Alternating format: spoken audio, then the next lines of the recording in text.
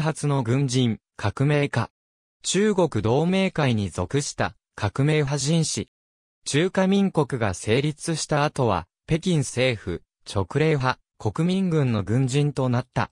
一時は、靖国軍として南方政府に属したこともある。字は、霊雨、笠宗、立政。号は中山。1908年、古慶翼は、西安県本学堂に入学する。1910年春に、中国同盟会に加入した。この時、古は、海東との連絡樹立に大きな貢献を行い、先西省の同盟会で重要幹部と目されるようになった。1911年、県本学堂を卒業する。10月の西安記議でも、古は、回答を招集して、真っ先に呼応し、明る県、三原県、県といった、生北の主要地区を確保すると、生北記議軍総部を設置した。間もなく超大鳥の旗郎また官軍政府より第一票票等に任ぜられた。独立宣言を発すると、旗郎また官軍第一票は、先制陸軍第一票に解消され、北路安部、小東市県記議総指揮、芋地幕の指揮下として、甘粛省から鎮圧に来た新軍を撃破する軍港を挙げた。1912年、先制都督となった超大鳥は、遠征外を支持し革命派に圧迫をかけたため、固形欲は日本へ逃れた。この時、成城学校で学んでいる。1914年1月6日には、東京に同盟会が設立した高年学者で学び、帰国直前には、孫文と面会している。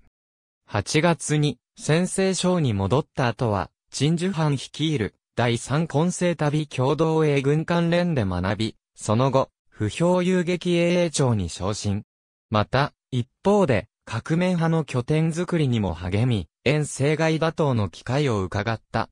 なお、この時に、後の国民軍の同僚となる、孫だけと知り合っている。1916年3月、先生将軍陸立省が、五国戦争に呼応した省内の革命派を討伐しようとする。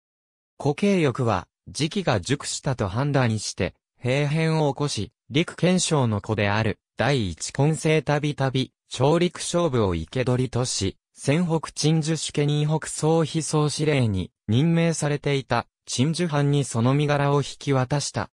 陳は陸立省と取引して、陸勝部を返す代わりに、特軍の地位を手に入れた。五国戦争終結後は、固形翼は、先生第一旅混成第二団団長となり、先生省南部に駐留した。しかし、特軍の鎮守藩は、固形翼を猜疑し、子もいずれは陳を倒そうと気を伺うなど、両者の関係は次第に悪化していく。1918年1月、子は、総精鋭と共に、各県が五法戦争に呼応し組織した先生やスクニ軍に加わり、三原で決起した。子は、右翼総司令、宋は、左翼総司令として、陳に挑戦することになる。劣勢となった陳は、河南省の鎮火左軍統領である、劉鎮火を、先制省長の地位をもって、味方に引き込む。このため、今度は子が劣勢に置かれた。固形翼は、南方政府との関係を強化するため、雲南省の統次業と連携する。さらに、孫文が派遣してきた、海義島を、先生靖国軍総司令として擁立し、子は、第一祖寺総司令として前線に立った。しかし8月に、子が、鎮守藩川の京広方木の軍を説得しようと、訪問したところ、京に交流されてしまう。さらに、陳に引き渡されて、西安で南京下に置かれた。陳は子に降伏するよう進めたが、子は応じようとしなかった。1920年7月に安直戦争が勃発すると、暗記派の鎮守藩は省内の人心を得るため子、慶欲を釈放した。子は、三原に戻り、先生靖国軍副司令権総指揮に任命された。子は、三原近隣を靖国軍の自立権として、軍事改革、政治改革、地方建設に励み、成果も大きなものであった。そのため、子は、孫文らから賞賛を受けている。しかし、1921年5月に、陳樹藩が更迭され、直令派の演奏文が、公認の先制特軍となり、さらに7月に、兵玉将率いる、第16混成旅も入ってくる。円、兵は、離任を拒んで、武力抵抗の準備を進めていた、陳樹藩打倒のため、固形翼や靖国軍を取り込もうとする。結局、子はこれに応じ、兵と協撃して、陳樹藩を駆逐した。さらに、靖国軍の称号を取り消し、先制軍に復帰して第一市長となった。しかし、この事態については、孫文、海ギトラから激しい非難を浴びた。8月に、袁総文は自殺したため、以降は、先制特軍となった、兵玉将の配下につくこととなる。1922年4月に第一次、笹口家戦争が勃発すると、固形翼は、兵玉将に随従して、河南特軍の長と戦った。戦後、第24市市長に任命され、京関鉄道の北部沿線に駐屯した。その後、子は、直令派主導の北京政府に反感を覚えるようになり、密かに、兵玉省や、孫だけと連携して、打倒の機会を伺うようになる。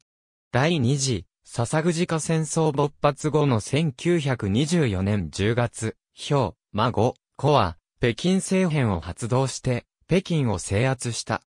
国民軍が組織されると、子は、国民軍副司令権、第二軍軍長剣道第一市市長に就任した。さらに、孫文を北京に迎え入れることを積極的に推進している。同年12月、呉慶翼は、直令派の合配布を撃破して、鄭州に進軍し、河南便利軍務収束事与に任命された。しかし、先制特軍、陳家左軍統領である、劉陳家の配下、玉も、落葉を占拠するなどして、河南省の支配を目論んで子を阻もうとした。これにより、いわゆる、この戦が勃発したのである。兵玉省は、当初孫だけを派遣して、両者を和解させようとした。しかし、劉鎮か、玉の河南支配の野心は深く、1925年2月には、劉自ら落葉に赴いて、古軍を攻撃するなどした。こうして両者は、全面的に開戦する。孫だけ率いる国民軍第三軍の支援も受けた子は、3月9日には、竜を落葉から駆逐し、4月2日にはも撃破して、自決に追いやった。こうして、子の河南支配は確定したのである。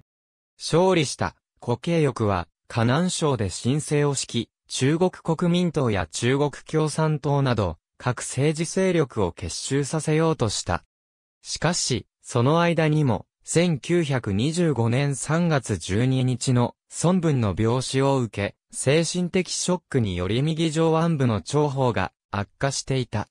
病院で治療を受けるも、回復の見込みなく、翌月の4月10日、開封にて、孫文の後を追うように急逝した。去年34、5月に、先制小火山北陸の大毛台に葬られる。